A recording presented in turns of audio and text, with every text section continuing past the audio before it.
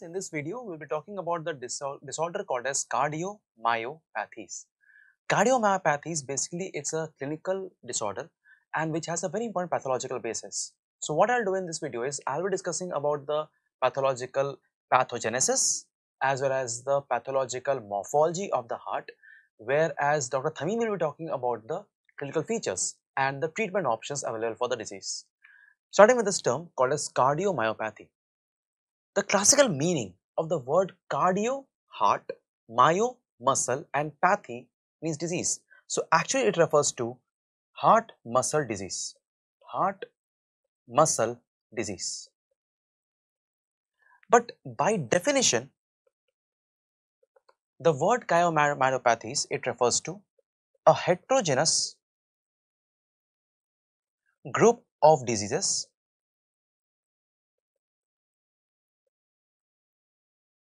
of myocardium obviously of myocardium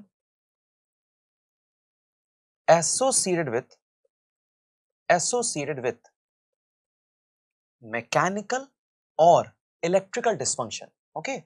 It can be either a mechanical or electrical dysfunction electrical dysfunction. Now what happens because of this two finding is either mechanical or electrical is there is ventricular hypertrophy or ventricular dilatation. Okay? So this will cause causing ventricular hypertrophy or dilatation. Ventricular hypertrophy or it can be ventricular dilatation now, in the same definition, we can also add what is the basic reason of this. The basic reason are usually genetic but can also be acquired causes. Okay. So, due to a variety of causes, due to a variety of causes, usually genetic, usually genetic. Now I understand it's a very long definition but it has a lot of meaning to tell us. If you understand, see the basic thing you should remember in the definition is the cardiomyopathy basically is a disease of mechanical or electrical dysfunction. First thing first. It may cause hypertrophy, may cause dilation. Usually the causes are genetical. So I think these three things must be there in the definition without which you will not be able to understand what is cardiomyopathies. Now, etiologically wise or classification wise, it can either be classification, it can either be primary or can be secondary. Obviously, primary means the problem is in the heart itself. Secondary means it is acquired due to any other systemic causes. So, primary it may be it actually refers to genetical or acquired disease of myocardium of heart. But secondary but secondary it's a component of systemic disorder. It is due to systemic disorder. It's due to systemic disorder. So it may be primary it may be secondary most of the causes are primary, but if you go to the restrictive type, of cardiomyopathies, they usually are secondary in reasons, secondary in causes. Now, to understand this basic thing, let's see a image. See, this is how the three types of cardiomyopathies are. In these three types, if you look at the types here,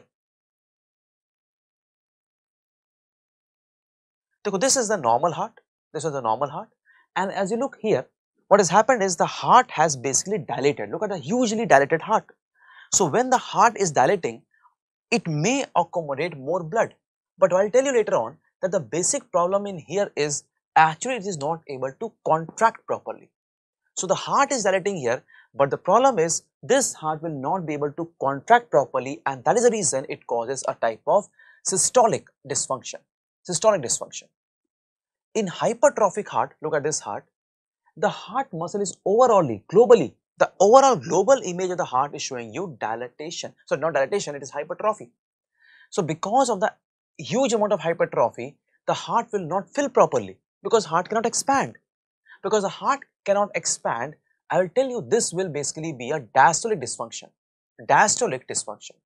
And this one is restrictive. Again, the problem occurs in diastolic dysfunction because it's restriction. So, the heart cannot be expanding properly. The restriction I will tell you it may occur because of tumor, it may because of amyloid and various other options, right. So, based on this let us start with the types of cardiomyopathies, okay, the types of cardiomyopathies. There are actually three types. The first one is dilated, dilated. The basic problem here is systolic dysfunction. It causes systolic systolic dysfunction. It causes systolic dysfunction. Okay. The basic problem is it causes systolic dysfunction. Okay. Now, the reason of causing a systolic dysfunction, I will tell you later on, is basically the contraction power is not transmitted enough to the sarcomeres. Okay. And hence, it is causing systolic dysfunction. You can write in bracket, it is due to impairment of contractility, impairment of contractility. The second one is hypertrophic, hypertrophic. The main problem here is diastolic dysfunction, diastolic dysfunction, diastolic dysfunction because the main problem is impairment of compliance okay? There is impairment of filling or compliance. Filling of blood obviously filling of blood it is also called as impairment of compliance. And the third one is also the same it is restrictive restrictive cardiomyopathies. In restrictive cardiomyopathy again there is a diastolic dysfunction, the same exactly, diastolic dysfunction. And that means there is impairment of filling, there is impairment of filling. So, the three main, the three main types of cardiomyopathies, one of them will be basically a problem in contraction, one of them is a basically problem of compliance the third one is also a problem of compliance, but these two have a different causes. They have different causes what can lead to the problem in the cardiomyopathies. Okay. Now, having understood this, today we will be basically discussing about the hypertrophic cardiomyopathies. To understand this, let us have a view on this image. This is an image from Robbins.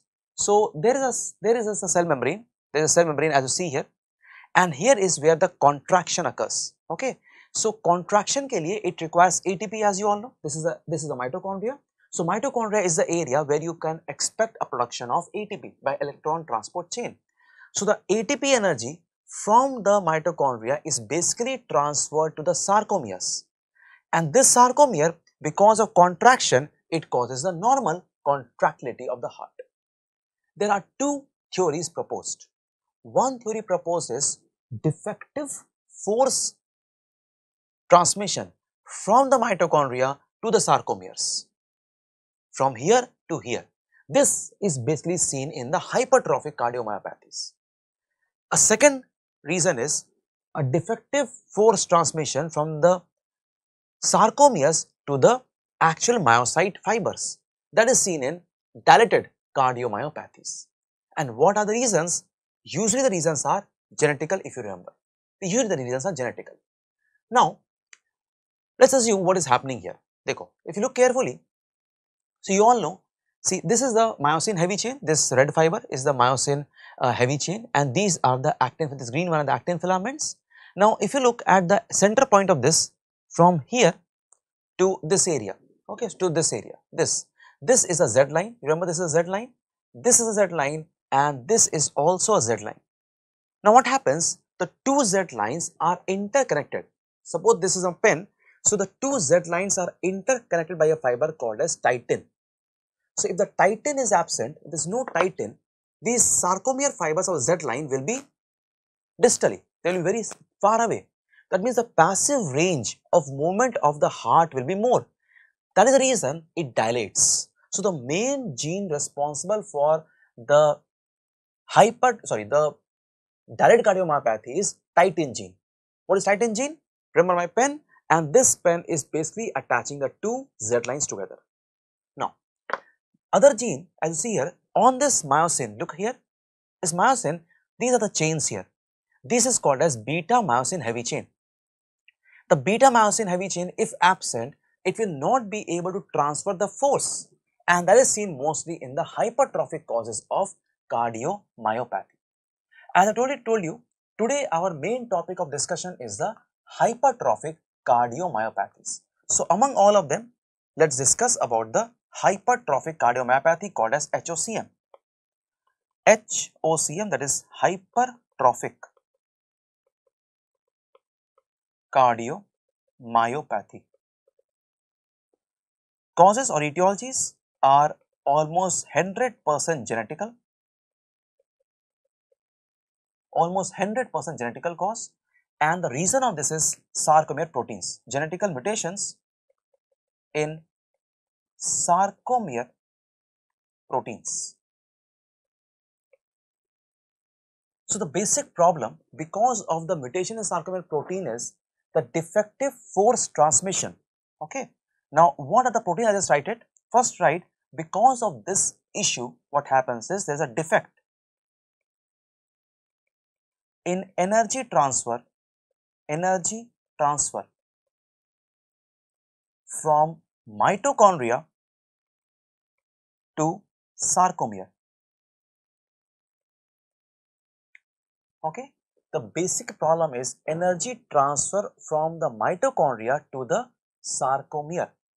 Few reasons that are proposed because of this, the few reasons that is proposed because of this are some mutations. I will write the mutations here. The mutation mainly for this is beta myosin heavy chain, myosin heavy chain. So, write it beta MHC, okay. Beta myosin heavy chain is one of the most common mutation that is seen in this condition, beta myosin heavy chain. It can other also be troponin T, troponin T. It can be alpha tropomyosin and can be myosin binding protein C, myosin binding protein C. It can be myosin binding protein C. But having said this, the most common is beta myosin heavy chain, beta myosin heavy chain. So, because of which the energy is not transferred properly from the mitochondria to sarcomere. So, sarcomere cannot contract. Ultimately, because of application of more and more pressure, it causes global hypertrophy in the myocardium. So, now we will see what are the morphological changes in the heart. Okay, let us now discuss about the morphological changes in the heart muscle. Morphology.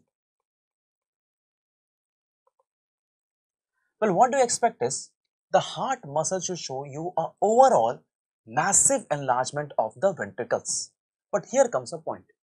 See, suppose this is a ventricle and in between the ventricle wall, this is the septum. So, basically the septum increases more in size than the ventricular wall.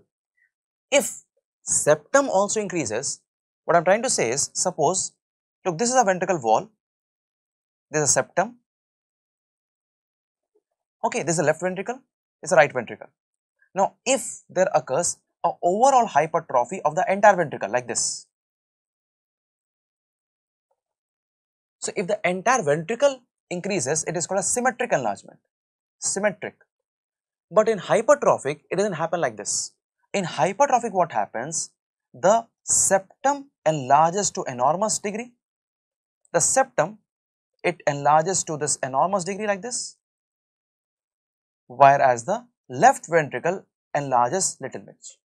Left ventricle wall, it does not enlarge to that much amount. That means the wall if you see, this part I am now shading, this is the septum. This area is the septum area. Okay. So now what will happen? Because the septum is increasing more than the myocardium, the septum is increasing more than the myocardium, I will call this asymmetric enlargement of the heart. It's not symmetric and hence it is called as asymmetric. Asymmetric septal hypertrophy. Asymmetric septal hypertrophy. This is the main main change you must remember that is occurring in a HOCM. So the problem are enormous. This will be taught also by Dr. Thameem here that basically the problem here is enormous because this will cause a filling defect. How can the heart fill? There is no space to fill. This is the area where the heart could have filled. So the blood amount that is being collected here is very less. This is the amount of blood here. And this blood is very less compared to the normal blood. Look at the normal amount of blood. The blood amount is very less here. Because the blood amount is less here, it is actually a diastolic dysfunction. And ultimately, because of the huge amount of septal enlargement, it also causes the obstruction in the left ventricular outflow, because which various problems starts coming up. Okay. So let's now write what are the morphological findings to be understood. First of all, there is a there is a thickening of the ventricular septum, ventricular septum thickening, ventricular septum is to left ventricular thickening. The ratio is around 3 is to 1. So, what is enlarging more? Septum and that is the reason I am calling this asymmetric septal hypertrophy. I am calling this asymmetric septal hypertrophy. Well, 10 percent cases can be symmetric. Okay, 10% cases can be symmetric, but majority of the cases that is 90% cases they show asymmetrical hypertrophy, asymmetrical hypertrophy. And if you see this configuration, see here, this typical, this typical area is looking like a banana. Isn't it looking like a banana? This whole area, look at this area. This whole area here, this whole area here, it looks like a banana being placed here. This is called as banana-like configuration. This ventricular wall. I'm trying to say is can't you put a simple banana here? Dekho, so beautiful banana putting here. This typical configuration is called as banana-like configuration. Let's write this. This typical configuration, so left ventricular cavity, left ventricular cavity shows banana like configuration okay banana like configuration it causes basically and this most prominent, this whole septal enlargement is most prominent in the subaortic region. This whole enlargement you see here, this whole enlargement is mostly in the subaortic region and that is the reason it causes basically obstruction in the blood flow. Okay. So, basically the asymmetric atrophy, the main site, the main site of this is subaortic and the reason it causes mainly obstruction in the blood flow from the left ventricle, left ventricle. Now, what are the main histopathological findings? Okay, histopath findings, microscopy. The basic is number one, massive myocyte hypertrophy. Massive myocyte hypertrophy. The size of this muscle fiber is more than 40 micrometer whereas the normal is say only 15, normal is around 15 micrometer, this shows a huge enlargement in the myocyte fiber. It is massive myocyte hypertrophy.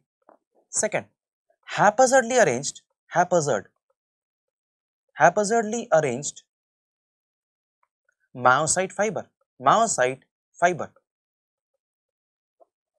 haphazardly arranged myocyte fibers it is called as, write in red color, it is called as myofiber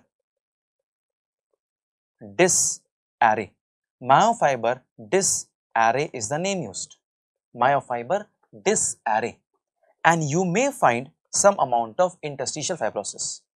There can be interstitial fibrosis. There can be interstitial fibrosis. So, if you put this information in a diagram, how will it look like? See, suppose I draw a normal myocardium muscle, this should look like this, branch fibers and normal myocardial fibers like this. Okay, they are regularly and horizontally arranged. But what will you see here is, there is massive enlargement in the muscle fibers like this. And if you look at the arrangement, they are all are haphazard, they are not in a transfer, not in transverse fashion, they all are haphazardly arranged. These all are large muscle fibers. Let me color this, it will become more and more clear. This is a normal muscle fiber. And look at the hugely enlarged muscle fiber. The size has almost become around 40 micrometer, that is almost 3 times the size of the normal myocardium. The size of the nucleus is also increasing. So, normally the nucleus size may be around one third of the size of the muscle fiber now the nuclear size is enormously increased like this, hugely enlarged muscle fiber. Hugely enlarged muscle fiber and there may be a small amount of fibrosis being seen here. So, there may be a small amount of fibrosis here. There may be collagen fibers in this area. So, what you are seeing is, what you are seeing is hugely enlarged muscle fiber what you're saying is nucleus is enlarged. Look at the fibrosis in this area and the abnormal arrangement. They're not horizontal arranged. They all are abnormally arranged like this. It is the basic feature of the hypertrophic, hypertrophic cardiomyopathy.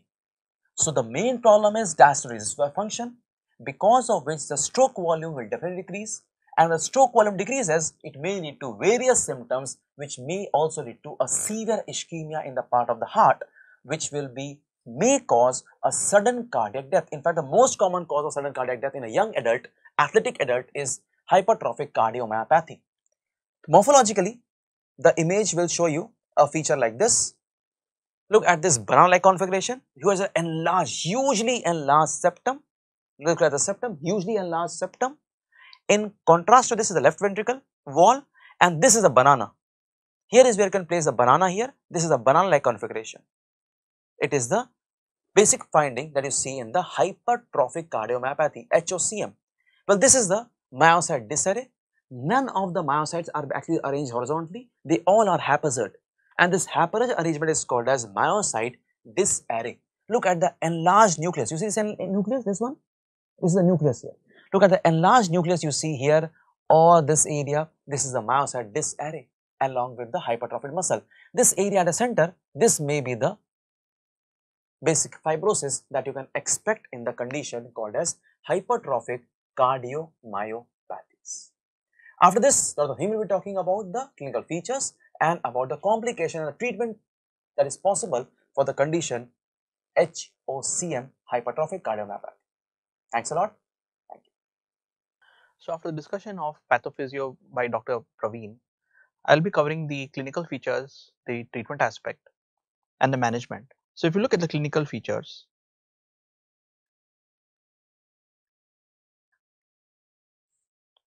mainly I want to focus on hypertrophic cardiomyopathy today. And if you look at the clinical features of hypertrophic cardiomyopathy, the manifestations are mainly driven by three main components of the patho and that is the cardiac dysfunction that is left ventricle undergoing hypertrophy which is mainly asymmetric in nature and this LV dysfunction that develops because of this can be either a systolic problem or a diastolic problem. The reason for the diastolic problem and this is what we refer to as progressing towards heart failure with preserved ejection fraction which is also referred to as a diastolic dysfunction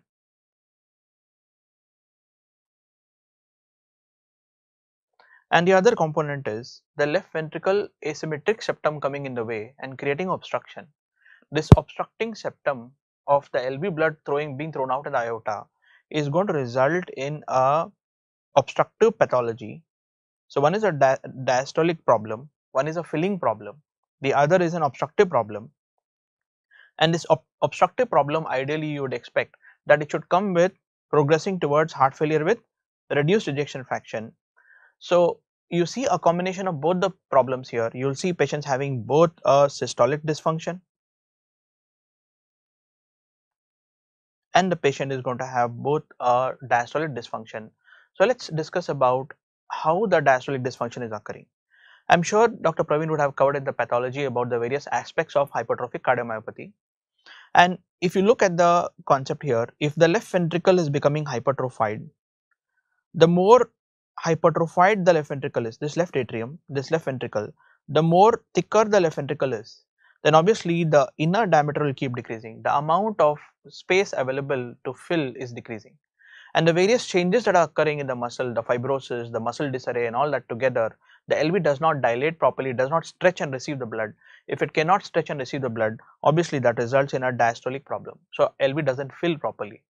A consequence of this filling problem will result in pulmonary hypertension and left atrial dilatation. So this is basically going to put the load if the LV doesn't fill it will put the load on the on the left atrium on the pulmonary circuit and the patient will have features of pulmonary edema. So most of the clinical features you will see are basically based on this pulmonary edema that is slowly building up in these patients. You will also see the systolic dysfunction. This is because the septum is coming in the way and not allowing the LV to pump the blood out.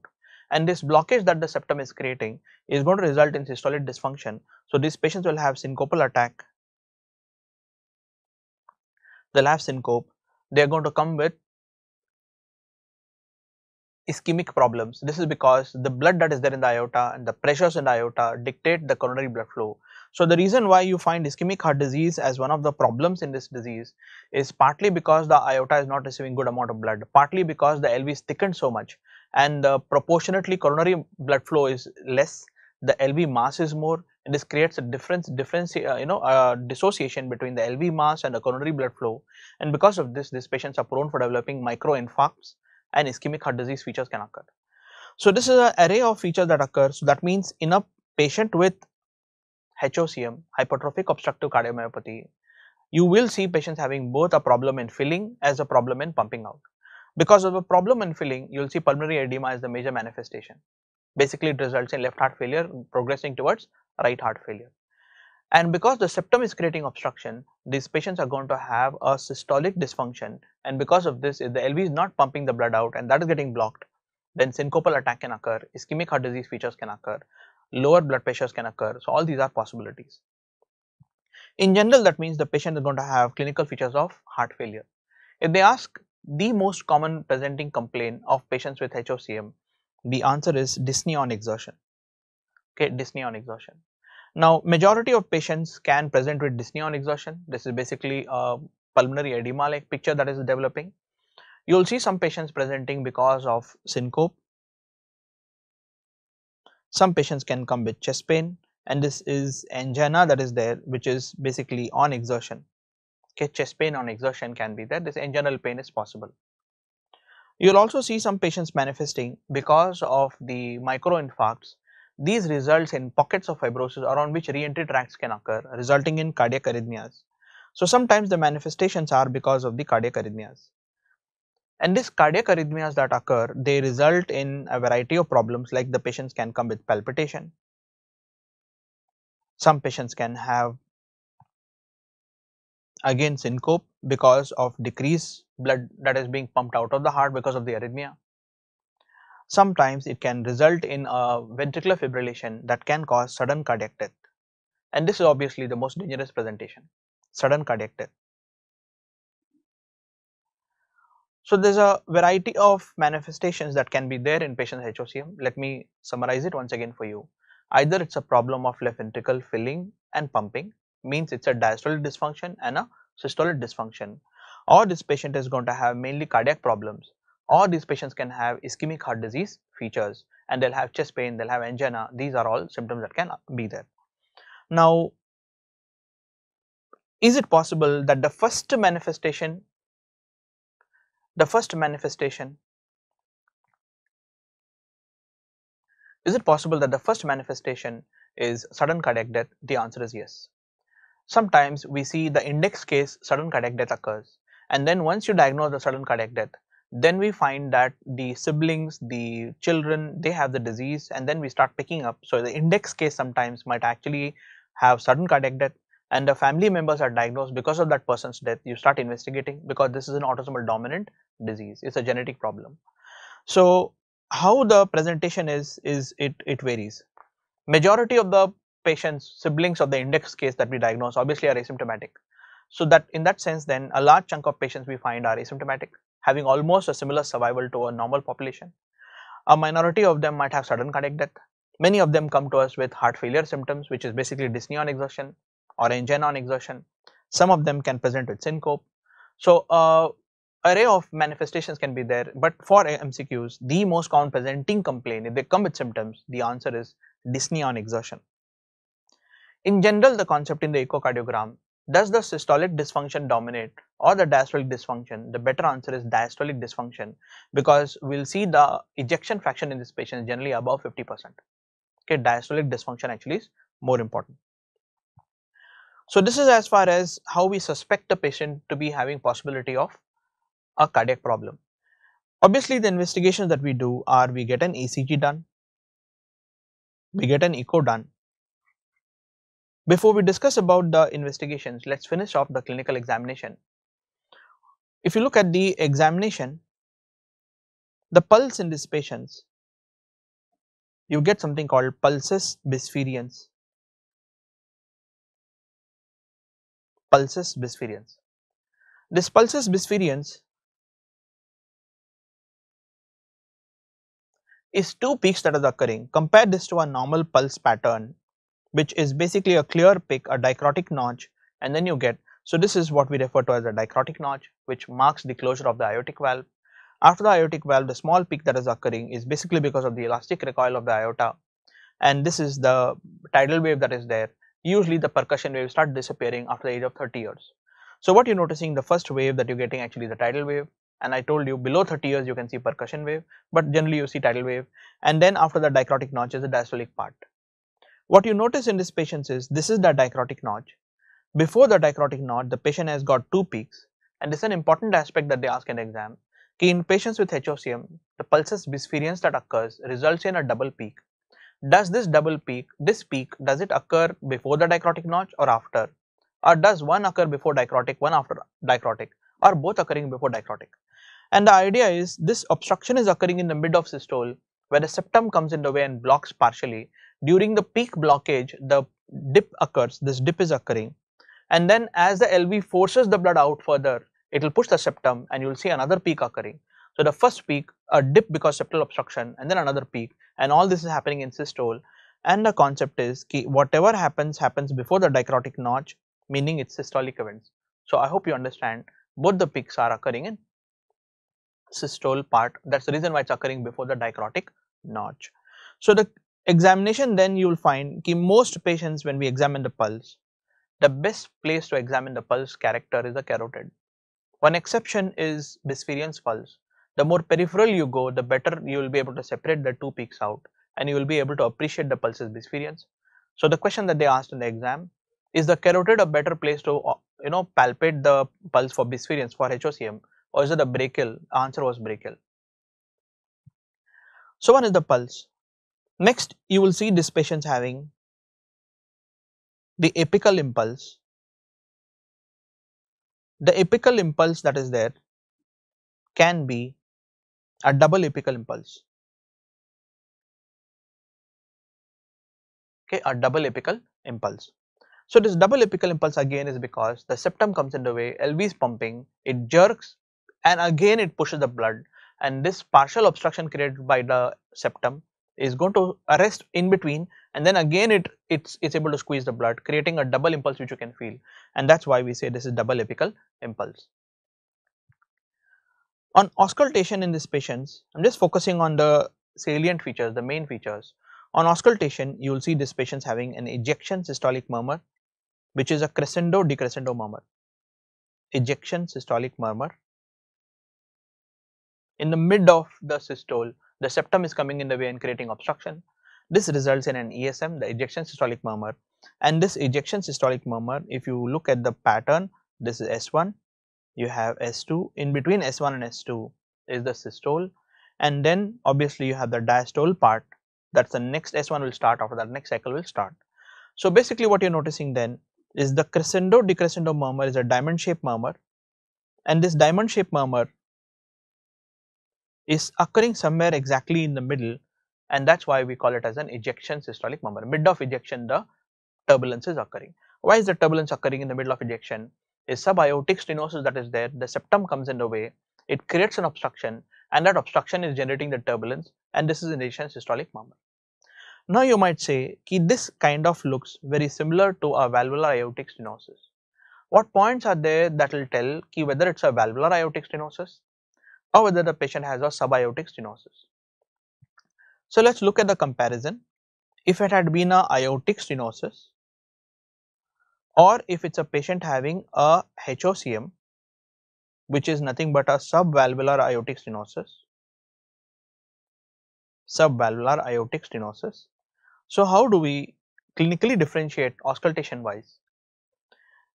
If you are able to get an ejection systolic murmur best heard in the aortic area with conduction towards the carotids. This is very classical for aortic stenosis. However, if you get an ejection systolic murmur that is better heard in the Erb's area, this is the third intercostal space in the left of the sternum, ideally you expect the murmur generated from the aorta to be conducted towards the second intercostal space on the right of the sternum. So, right of the sternum is the aortic area, but we are getting the murmur better left parasternal area which is also referred to as the Erb's area and the murmurs are loudest over there. The ejection systolic murmur is loudest. The second important feature is generally this murmur does not does not conduct towards the carotid does not conduct towards the carotids. So, conduction toward carotid becomes a very important feature to differentiate and tell whether it is a aortic stenosis or a subaortic stenosis. The other associated features are the presence of an ejection click tells you this is a damaged valve which is opening with a sound that is an ejection click. You cannot get an ejection click because the valve is normal in HOCM problem not in valve the problem is below the valve. So valve disease one of the clues is the valve will open with a sound and the opening of the valve with a sound is known as an ejection click. You will not get that in patients with a subvalvular pathology. Rest of it is basically the supportive treatment you get in the other examination. For example, if you get a pulsus parvus et tardus, this is a slow rising pulse, low volume slow rising pulse known as pulsus parvus et tardus. Then we are talking about aortic stenosis. If you get a brisk pulse with a double peak, this is pulsus bisferiens, then we are talking about HOCM. So these are the ways how you can differentiate and tell whether it is aortic stenosis or whether it is a subaortic problem like HOCM.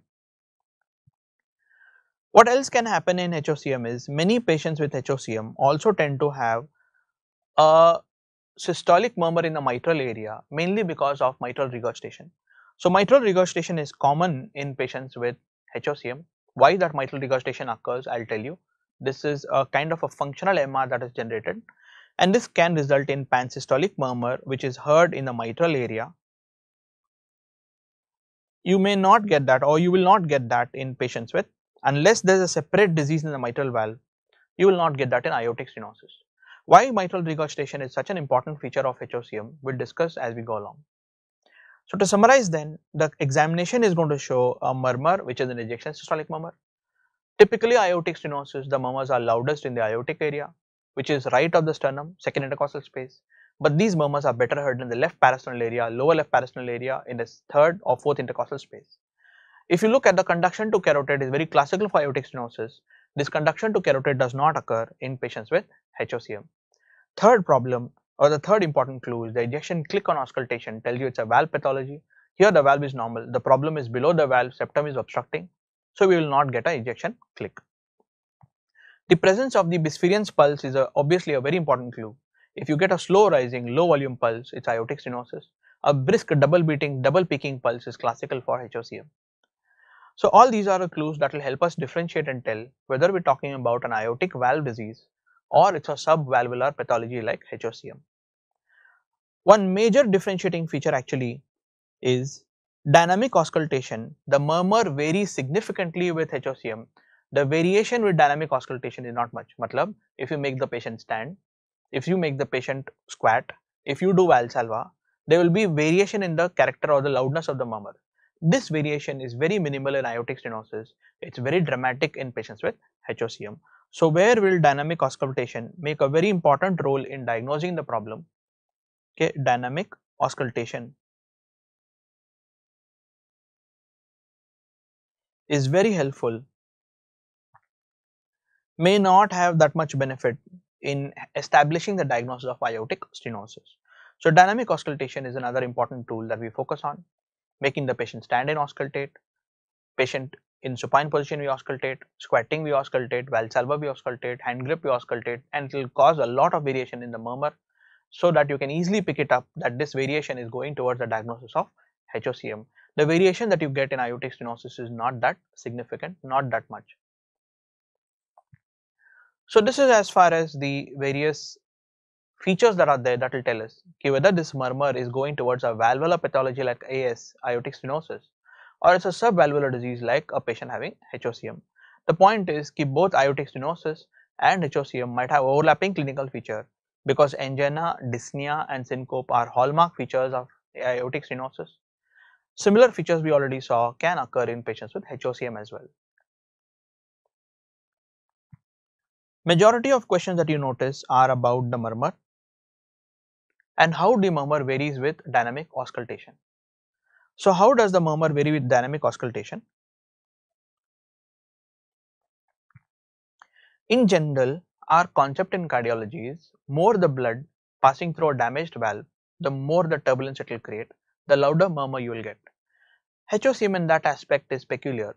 The lesser the blood passing through the damaged valve, the louder the murmur it creates. Okay, less blood passing through the damaged zone, the louder the murmur. It's surprising because everywhere in cardiology we see the more blood you push through the damaged valve, the more turbulence it will create. This basic simple physics. Okay, you got a damaged valve, the more blood you push through it, the more turbulence you generate, louder the murmur. This is ulta, here less blood creates louder murmur. Second important concept, and this is not unique, it happens everywhere higher the force of contraction.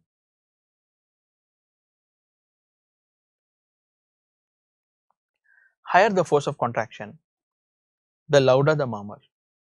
But this is not unique because obviously the more the force of contraction, the more the pressure gradient that is generated, the more the gradient, the more velocity the blood will move creating higher turbulence, louder murmur. That is nothing special for HOCM that happens in almost all the conditions. More the gradient, louder the murmur that's nothing special but what's unique is the low blood creating loud murmur that is special for HOCM. Let's see why that is occurring. When you look at a murmur in HOCM, in a person who is standing compared to supine, what do you expect the murmur to be?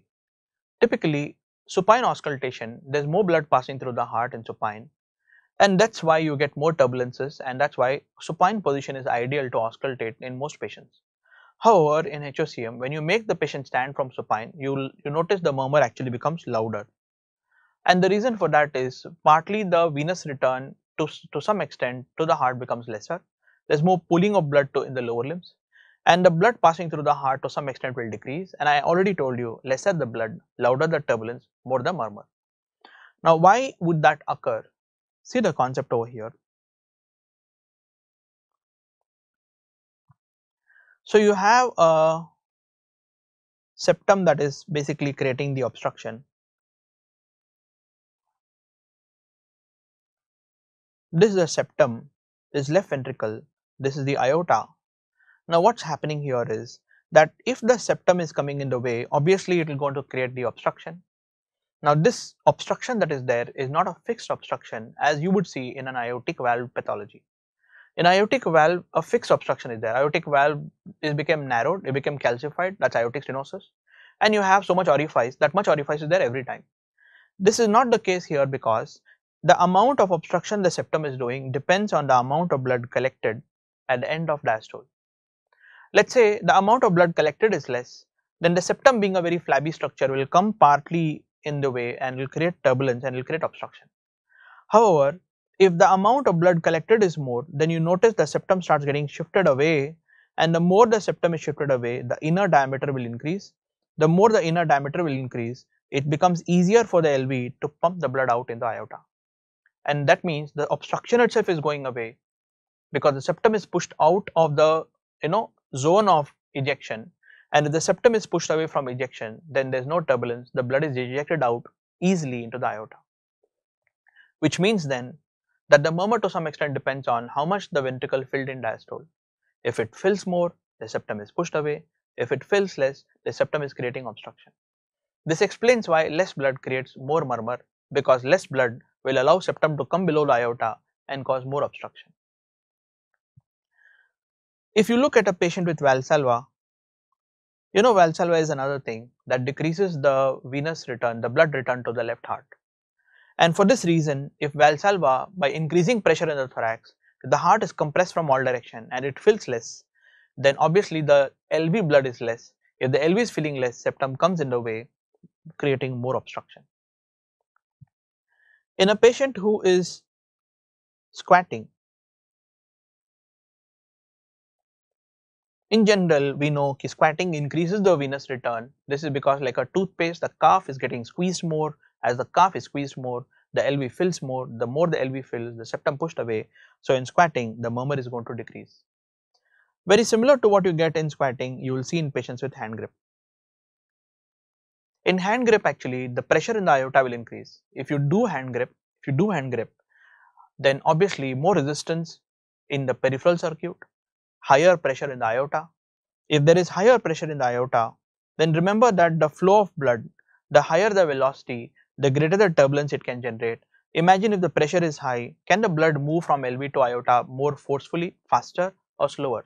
Naturally the flow of blood will slow down and if the blood flow slows down, then obviously you are going to get lesser turbulence, lesser murmur. So the entire flow of blood to the aorta starts slowing down, gradient is not there and remember the higher the gradient, one side very low pressure, one side high pressure, the blood will move turbulence, more velocity, the more the velocity, more the turbulence. That is gone in hand grip. This is the reason why hand grip, the murmur decreases. If you were to put the patient on nitrates, nitrates are venodilators. They pull the blood in the periphery, in the lower limb and the venous return to the heart is decreased. LV fills less. If the LV is filling less because the blood is basically pulled outside, then this is going to put the septum in the path creates more obstruction. So obviously the murmur will increase. So let me repeat nitrates are venodilators they'll pull the blood in the periphery the venous return to the heart decreases creating more obstruction. If you were to put the patient on beta blockers, beta blockers reduce the rate and allow the heart to spend more time in diastole. If they spend more time in diastole, naturally they're getting an opportunity to fill more. If they're able to fill more, then obviously the septum is pushed out of the zone, allowing smoother exit of blood, obstruction will come down. So beta blockers will decrease the turbulence, decrease the murmur. You will understand later as I explain why beta blockers are the drugs of choice in HOCM. One is they definitely improve the hemodynamics, they reduce the obstruction. But the big problem in HOCM is the sudden cardiac death triggered by arrhythmias. And we now know in most of the arrhythmias, catecholamine seem to be playing an important role. By blocking that catecholamine effect, we can protect the patient against development of major arrhythmias. So these are all important findings that happen in patients with HOCM. Let's look at the investigations then. In the investigations, obviously the echocardiogram is the main thing that will make the diagnosis of HOCM for us. It will show the asymmetric left ventricular hypertrophy with a very large septum and that is the main anchor point to make the diagnosis. Sometimes, especially if it's an apical hypertrophic cardiomyopathy, the echo may not be that good to pick it up, in which case we need to rely on the MR. The MRI clarity is far superior to the echo and the MR in any kind of doubt, MR is going to make sure, I mean make it very obvious that this is going towards hypertrophic cardiomyopathy. So the septal hypertrophy, increased septal thickness, LVOT obstruction, left ventricular outflow tract obstruction, the turbulence that occurs because of the septum coming in the way. But the most important point and this is what they ask in our exam is a very classical finding called SAM. This is the main thing that they ask and you should be aware of this. What is this SAM in echocardiogram? The SAM is systolic anterior motion of mitral valve.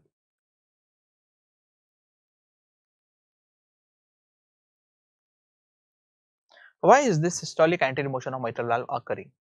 It occurs because, say this is the aorta, we have the left ventricle, we have the left atrium, left atrium, aorta, left ventricle, this is the anterior, this is the posterior, you have the anterior mitral leaflet, you have the posterior mitral leaflet. And there is an obstruction that is occurring. And this obstruction that is occurring is partly because of the septum creating the blockage. And what this will do is when the LV blood is getting passed out into the aorta because of the LV obstruction this is going to generate a high velocity a very high velocity is generated and that high velocity creates a low pressure. Normally what we expect is in left ventricle systole the aortic valve should be open and the mitral valve should be shut. The mitral valve should be shut. That is what we normally expect in left ventricle when it's in systole.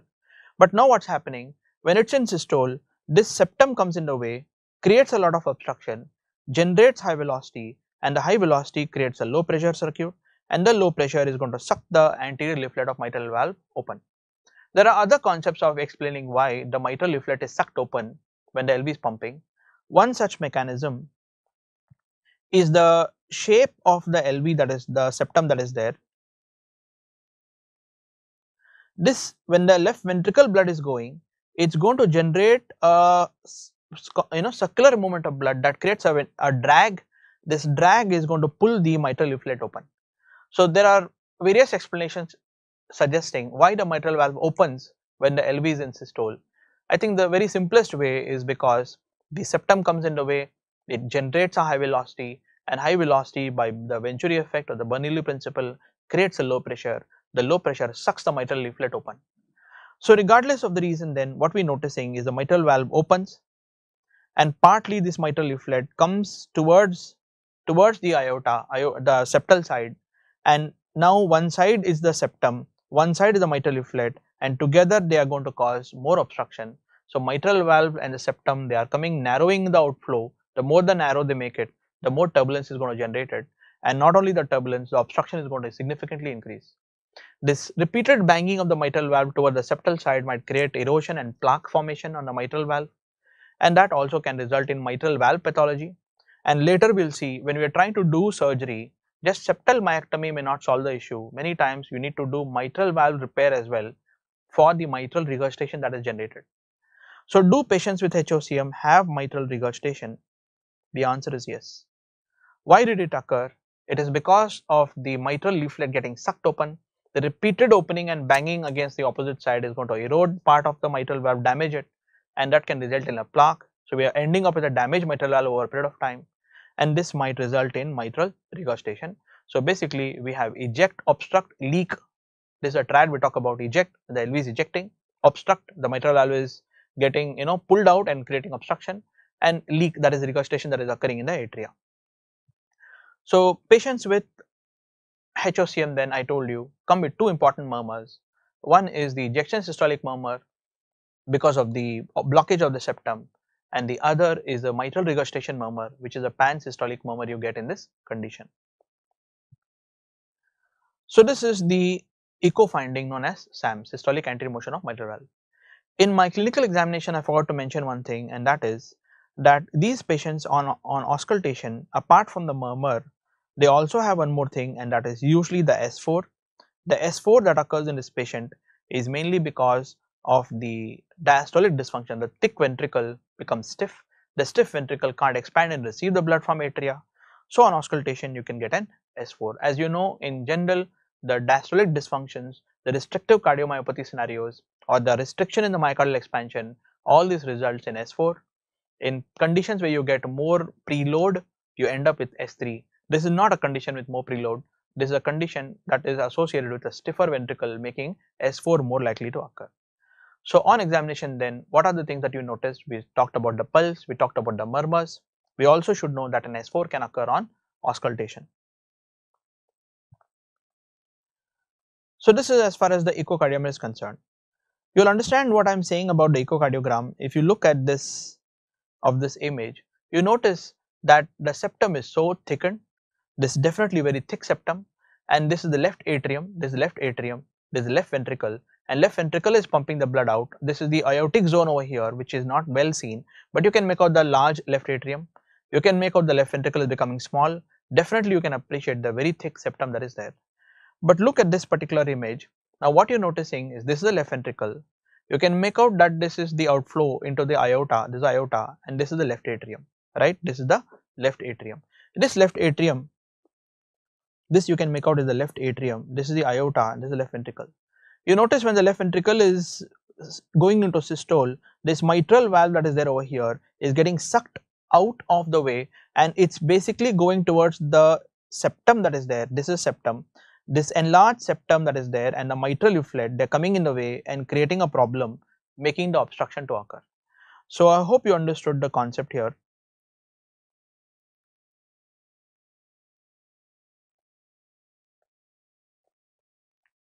So basically in the still image you can appreciate better. You can make out what I am showing this is a thickened septum.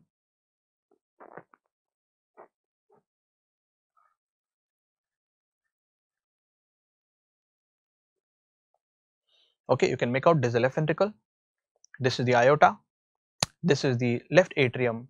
These are the mitral leaflets. This mitral leaflet and the septum this is the septum that is thickened and this mitral leaflet is getting pulled towards the uh, septum creating an obstruction for the LV to push the blood out in the aorta. So this is the issue that we are getting that is the reason why uh, we are seeing the obstruction increasing by the opening of the mitral valve. This is what I call SAM systolic anterior motion of the mitral valve. So if you carefully notice here, you can appreciate that every time the LV is going into systole, it's dragging the mitral valve open and this dragging of the mitral valve open resulting in some regurgitation in the atria and some more obstruction created by the blood entering into the aorta. So this is how the MR and the echocardiogram can help in making the diagnosis for us for HOCM. What remains then is we did the echo, looked at the the the echocardiogram and I was telling you the echo is a very important tool in establishing the diagnosis. This is the left ventricle. You notice the left atrium has become larger in size. There is a four chamber view in the echo. The septum is definitely very very thick, a thickened left septum. This LV, this is the left atrium and you do notice the mitral valve mentioned here. This mitral valve is difficult to appreciate in a still image, but the mitral valve is dynamically creating an obstruction and it is coming close to the septum and together mitral valve and the septum are creating the obstruction. So this is how we make the diagnosis as far as the echo and MR is concerned.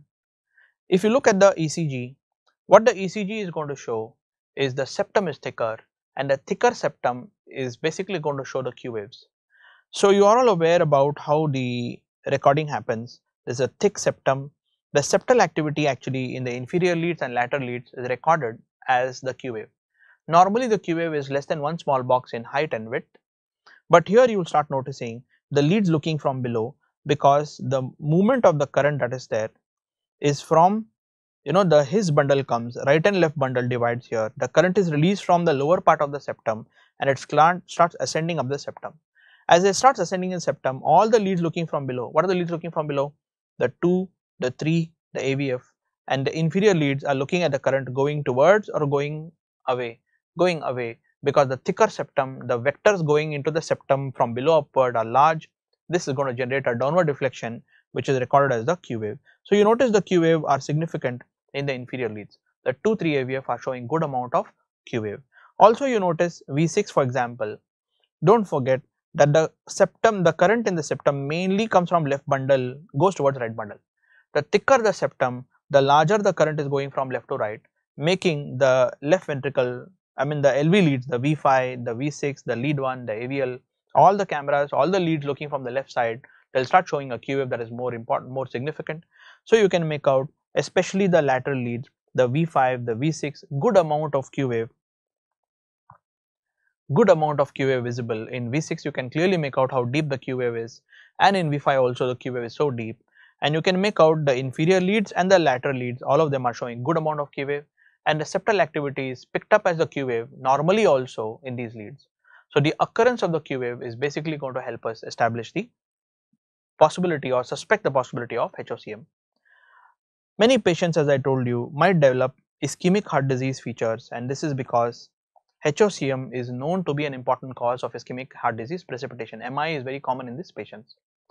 Also I told you okay, in patients with HOCM arrhythmia is also very common and the reason for the arrhythmia is the fibrosis, the myocardial disarray, the pockets of fibrosis around them re-entry tracts are known to occur and that is one of the reasons how you can explain the cardiac arrhythmias. In some patients when only apex is involved, apical hypertrophic cardiomyopathy we say, it is not involving the entire septum, the disease is more near the apex, those patients you will see that they will have T wave inversion and large voltage complexes, large voltage complexes with T wave, large voltages. Look how tall the QRS complexes are in V3, in V4, look how tall they are. So, tall QRS complexes with symmetric T wave inversions are very classical in patients with septal apical part of you know uh, uh, involvement and apical H HCM we say apical hypertrophic cardiomyopathy is a variation of the standard or the typical HOCM that you get. And these patients you will notice these kind of changes. You will see the T wave inversions and you will see the large voltage QRS complexes. This peculiar feature suggests towards possibility this is apical HOCM and this apical hypertrophic cardiomyopathy should be investigated by echocardiogram or MRI. So, this is how we establish the diagnosis based on the ECG, the echo and the MRI. As far as the treatment is concerned, the main treatment, the drug of choice if they ask you, the answer is beta blocker. Okay medical management surgical management two options are there. In the medical management the major issue is beta blockers. We can also use drugs that suppress the heart because the slower the heart rate the more time the LV will fill. The more the LV will fill then the septum is pushed out of zone of obstruction allowing better exit of blood from the LV so we can use a drug like beta blocker if there is a contraindication for beta blocker then we use the L type calcium channel blockers with is diltiazem and verapamil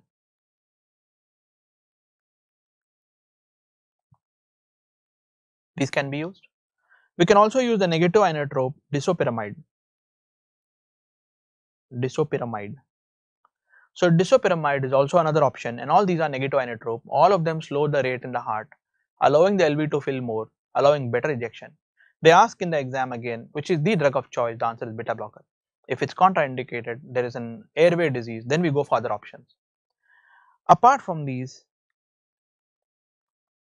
it's important to realize that if you try to do anything in which the aortic pressure decreases, the lower the aortic pressure, then the LV blood that is getting ejected out, the pressure gradient will be more and this is going to basically worsen the patient. So, do not use calcium channel blockers like amlodipine, nifedipine, they are going to worsen the patient.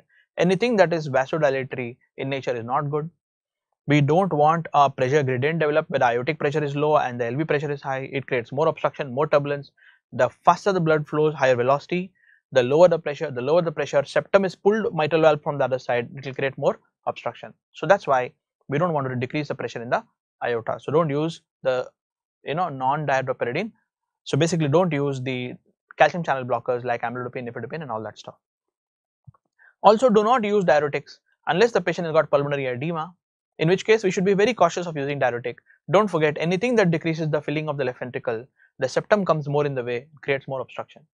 So make sure we avoid drugs that decrease the volume of blood in the left ventricle. Don't use diuretics. Don't use anything that is going to dehydrate the patient. It is going to worsen the patient. In a patient whom we are worried of sudden cardiac death, there is a role of putting intracardiac defibrillator. The intracardiac defibrillator is definitely a protective zone. Any dangerous arrhythmia if it occurs, it will immediately shock the patient out of the arrhythmia. So this is a defense system. This is like a uh, you know um, a precaution to make sure that dangerous arrhythmias don't kill the patient. So intracardiac cardioverter defibrillator is definitely an important role, has an important role in protecting against dangerous arrhythmias. Surgical myectomy is another very important option which is going to decrease the pressure gradient and as you cut the septum and remove out the extra septum that is coming in the way then definitely the LV outflow into the aorta becomes much better. The pressure gradients that are there will start decreasing and the load on the left ventricle becomes lesser. Obviously, the load on the left atrium and uh, you know pulmonary edema, all this decongestion will start occurring and this is definitely one of the treatment options. Alcohol injection of the septum is another mechanism, another method which is shown to contract the septum to some extent and reduce the obstruction. So these are other options that are there that also are considered and there are clear indications for this which are not really required for our level of MCQs. So just know but these are options like surgical myectomy, alcohol injection in septum are other options in the treatment in patients with HOCM. One of the biggest danger of patients with HOCM is that these patients can have sudden death. Now, who will have sudden cardiac death and who will have you know almost a normal lifespan is very difficult to tell. So, where we have to be very cautious in patients with hypertrophic cardiomyopathy is anybody having syncope that's a red flag they are at very high risk of developing sudden cardiac death. Patients with family history of sudden death one of the family members already has died then this is high risk and extreme hypertrophy more than 3 centimeter thickness if you're getting of the septum definitely the risk is very very high. So these as per the American Cardiac uh, you know Heart Association and American Cardiology College of uh, Cardiology, American College of Cardiology and AHA they find these three to be the most important predictors. If they are there then ICD becomes important, septal myectomy becomes important. So you need to be more aggressive in the management of these patients because they can die suddenly. European Society of Cardiology actually came up with an app and now is all the zone of app they have a scoring system, a calculator is available that will calculate for us the risk probability of these patients having sudden cardiac death. And obviously those kind of calculations and all are not really required for our level of patients as I told you, but just needs to understand what patients we should be very cautious who can progress to develop sudden cardiac death. The other soft markers they are suggesting are that development of VT in a patient, left atrial dilatation, obviously LV is not expanding and receiving blood puts load on the left atrium and left atrium will dilate. This is another clue you might get in the ECG which will show left atrial dilatation and that will be a P mitral picture. Hypotensive response to exercise. So when you do the treadmill test, the BP should increase. On exercise, the BP is not rising but dropping. That is bad. That is hypotensive response to exercise. MRI is also known to show late gadolinium enhancement actually shows scar. Scar is becoming bright in MR on gadolinium enhancement. So scar formations, if you're getting microinfarcts, they are at risk because around them re-entry tracts will occur resulting in dangerous arrhythmias.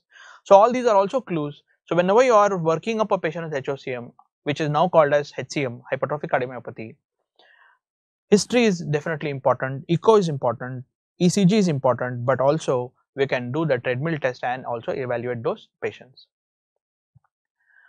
So I told you already the major management, the medical management is beta blocker, we discussed calcium channel blockers, disopyramide and I told you about two mechanical management that is surgical. One is surgical myectomy and the other is alcohol ablation. So generally where medical management is not working or the patient is at risk of sudden cardiac death, then we go for more aggressive surgical treatment and intracardiac defibrillator. So surgical myectomy, the indications are actually not MCQs, but just for your completion sake I am doing.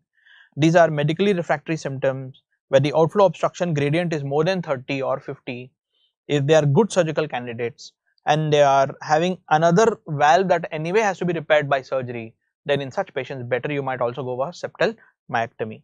So don't bother about the procedure details. However you can see in the echo that this is where the obstruction is occurring. You can make out this is left ventricle. The left ventricle should eject the blood out in the aorta a left atrium, you can make out the left atrium size is much more bigger than normal. So this is the left ventricle. Left ventricle should eject the blood out in the aorta and the mitral valve and the septum is blocking it up, right? And you can see the left atrium is so dilated. So if this kind of obstruction is occurring, no doubt the pressure gradient that is there is 108 millimeter mercury. So very large gradient is developed between the LV and the aorta because of the obstruction. But imagine after the surgery, the septum has been cut if the septum has been cut, the LV now can smoothly throw the blood out in the aorta. And if the LV is throwing the blood out in the aorta, notice the pressure gradient now has become 11. So this is one of the benefits of the surgery. You can see this is the obstruction that is there. the obstruction that is created partly by the septum which is thickened you can make out the very large septum that is there and the mitral leaflet that is getting pulled open creating the obstruction. You can make out the left atrium is dilated and the left ventricle over here but see after the myectomy septal myectomy you can see the flow of blood I am showing in the red arrow which is almost becoming so good and the blockade zone you have opened up this the aortic orifice is opened up and because aortic orifice is opened up the mitral leaflet is not getting pulled open. So this is as far as the surgery is concerned. So alcohol injection in the septum is another method, method I told you that will contract up the septum reducing the septal thickness to some extent. So all these are ways how we can manage patients with hypertrophic cardiomyopathy. So this is more or less the important zone or important uh, area where we are seeing frequent you know questions and important concept connected with hypertrophic cardiomyopathy. So um, I thank my friend uh, Dr. Praveen for presenting the initial pathophysio features and then we discussed about uh, various clinical aspects and the investigations and management of hypertrophic cardiomyopathy. Thank you.